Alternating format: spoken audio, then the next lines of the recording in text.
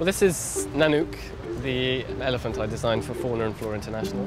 I wanted to actually try and use the shape of the elephant in a clever way to build my design around it, as opposed to just drawing onto the elephant. My brothers and I, when we were younger, we used to play a game where we'd give each other a piece of paper with a few squiggles on, and then from that you had to produce something. Um, this was a bit like a 3D version of that. I specialise in wildlife art, but I tend to draw on, uh, on a paper and a much smaller scale using pastels. So I, it was fun for me to get a bit creative.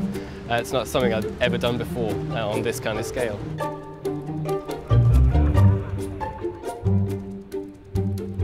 There's a, a, global warming theme with this, and it's become quite an iconic image, that polar bear desperately clinging on to the ice cap. And obviously, global warming affects the fates of all species from the poles right to the tropics.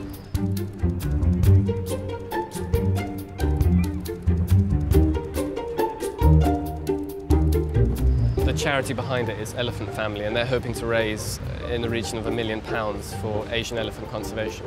All the elephants are up for auction, and a select few, including all the ones that are sponsored by a charity partner, are going to be auctioned through Sotheby's. Most of the money raised from that is going to go to fund projects associated with Asian elephants.